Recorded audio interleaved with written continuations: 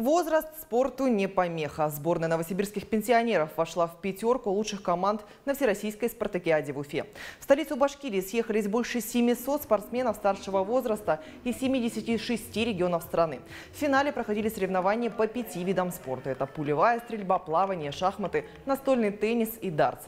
В итоге сборная наших земляков заняла пятое место. А капитан команды Ирина Чернышова сдала норматив ГТО и заработала высшую награду – золотой значок.